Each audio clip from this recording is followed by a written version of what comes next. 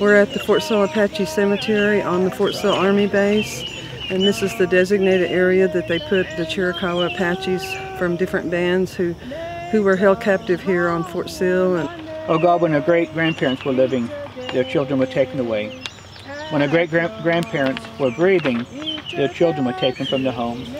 My mom and my aunts always talked about their memories and my aunt, of course, was older than my mom and she would tell her stories about when they were held captive and they had Apache songs that they used to sing even when they were in St. Augustine, Florida.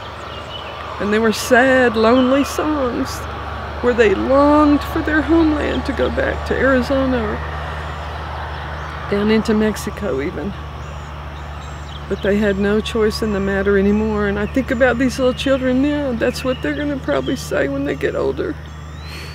How they were taken from place to place without their parents, without their loved ones, without anyone to nurture and hold them and love them.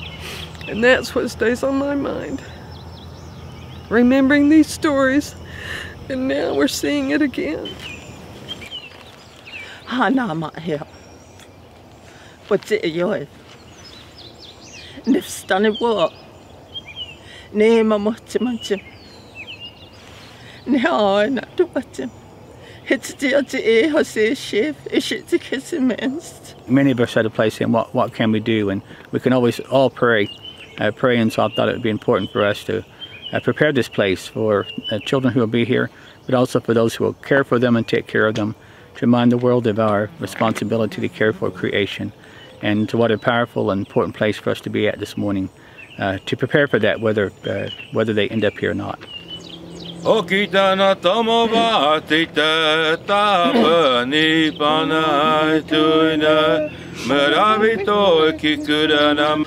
But these babies are innocent to all this. It isn't by their fault that this is happening to them. And I just want prayers. I just want people to pray for them until this is all resolved. Nibbana